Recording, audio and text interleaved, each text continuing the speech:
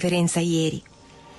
Però a questo punto io lo faccio io indegnamente, ma lo faccio. Io non posso, a nome di tutti, non rivolgere un grazie immenso da parte di tutti noi, da parte di tutta Radio Maria, a Padre Livio. A Padre Livio per il coraggio, la costanza, la fedeltà, l'equilibrio, la chiarezza in tutti questi anni che sono stati non certo semplici, perché tenere la barra dritta in questo marasma che ci circonda e ci travolge, senza che nemmeno ce ne accorgiamo, è davvero un'impresa eroica. Quindi pensate, dicevamo prima, no?